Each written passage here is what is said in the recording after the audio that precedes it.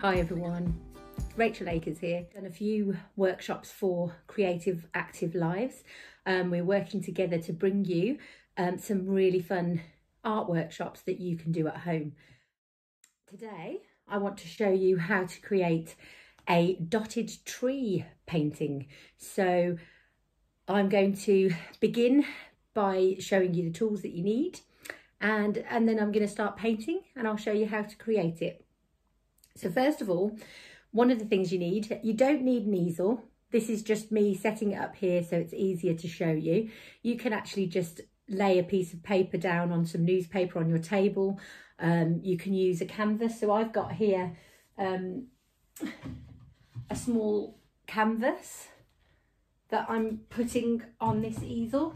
Um, but as I said, you don't need to do that. You can. You can get them fairly cheaply in little shops um, on your high street or you can order them online if you want to. Um, but you can just use a piece of card or a piece of paper, anything you like, and you can lay it on the table to paint. Or if you're lucky enough to have an easel, you can stand it up like this. The other thing is that you're going to need is a paint palette. This is just an old camping tin that I really like to use. Um, you can use a piece of paper again to squirt your paint onto. I use acrylic paints. So there's a few different types. This one's called Atelier. This one's Winsor and Newton. But you can also use tester pots. I picked up these on a clearance sale in B&Q for 10 pence each. And there's some lovely colours. You don't have to do anything expensive. Um, can, there's another one here called System 3 all of them, acrylic paints are great because the best thing about acrylic paints is that they are water-based, which means that you can just clean off your brushes in water and you don't need any strong smelling chemicals or anything to clean it up. So it's a really, really good paint to use. For making our little dotted tree painting, we're going to need a couple of things. You will need a paintbrush at some point because we're going to do the background with the paintbrush.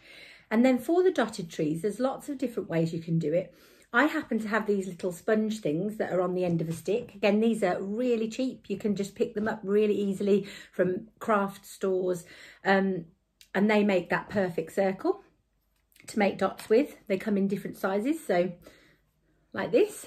Or if your mum and dad like to maybe have a glass of wine occasionally, some of them come with a cork and they're perfect with the round sections to create your dots. You can also use, but this will make tiny, tiny dots, cotton buds. So we're going to use all of these to try and create our dotted tree. Um, but to start with, what I want to show you is how we create the background. So what I would like to do is just very quickly and easily pick up my green paint and I'm going to do a little hill that the tree is going to stand on.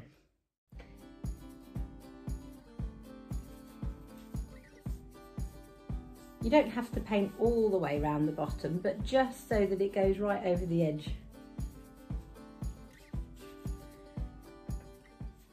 And one thing that we need to remember is we need to let the background dry. But with acrylic paint, it's really quite fast. So as you're using it, it will dry fairly quickly. You don't have to wait too long. I clean my brush off with some water. I'm just using a little plastic pot. And, oh, this is another thing I've got. This is a very old towel that you can tell I've used a million times over just to dry my brush on and make sure it's completely clean. You can use a bit of kitchen roll. Now I've got this lovely blue, it's a real pale blue. You can mix this by just using a darker blue. Let's say, let me see if I've got one got this really dark blue, but I could just add some white to it and make a nice pale blue for the sky. This whole canvas needs to be painted in blue. So the sky comes right the way down and it meets the ground. Now, obviously, if you have a piece of paper, you don't need to do the edges. But for me, because I have a canvas, I want to make sure it's all painted all the way around. And there you go. So that is the very beginning of our painting. So what we want to do is take a little break, let this dry and come back to it later. Within about 20 minutes to half an hour, your background should be dry enough to, um, to work on. So now what we're going to do is we're just going to draw the tree trunk and some of the branches.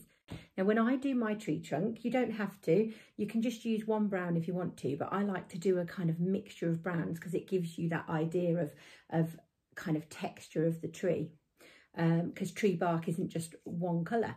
So I'm going to try and use a burnt sienna. I have a, which one was it? Wasn't that one? I wanted to use a dark one. This is a burnt umber, which is a really dark brown. And a yellow ochre or okra, I'm not sure how people say that one. Um, so that we've got a variety of colours to make a really cool kind of tree trunk. These are the three brands that I've decided to use and I'm just going to create a tree trunk and I like to use kind of a little bit of each colour as I go. So you see there how by using the three different colours, I don't know if you can see, bring it closer to you. You see how it's already got texture to it by using three colours on one brush. So it's a fairly simple way of doing it and you don't have to keep going back and using a bit of this colour, a bit of that colour. I just get a little bit of each colour on the brush and then I do this. You need to remember that the tree has roots that go into the ground. Now that we've got the tree trunk forming, what we need to do is create some branches. So we're just going to go, oh, I'm going to put a branch coming out here and the branches kind of have a few bits coming off it. Going to have one coming up here. Now the great thing about a tree is it can be any shape you want it to be. Also, when you've drawn a branch, they have more branches that come off it.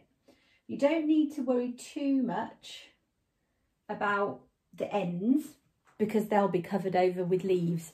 So all we want to do is put a basic shape of a tree in here. Just I'm going to bring this to you so you can see all the different layers in the tree. I wanted to, one thing I might just add in is on our green grass down here. You could choose a different coloured green and just add it in, just blending in these colours to give the green on the bottom a little bit more texture. We can start with our dots. So I've got a variety of colours, but you can use you can use one or two colours. You can use lots and lots of colours. Here's all my colours that I've put out here. And I'm going to start by giving this cork a go. I've not tried this before, so it'll be interesting to see what happens with this. So I'm going to dip it into the purple and then I'm going to start creating my circles. Oh, that's cool.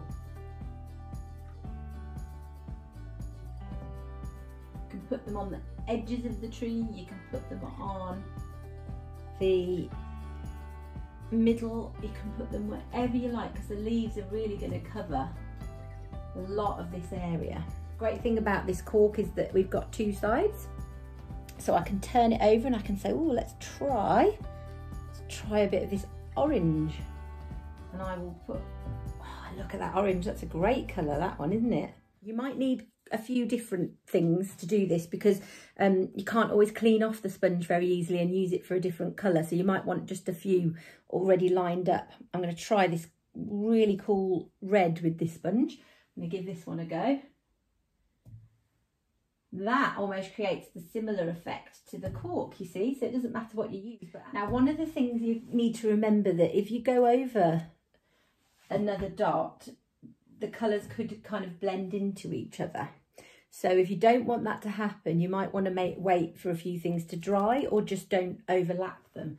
But it doesn't matter. It's absolutely fine if you overlap them. And I'm going to get a cotton bud this time. I'm going to add some blue. Now another thing we could do is put a few little dots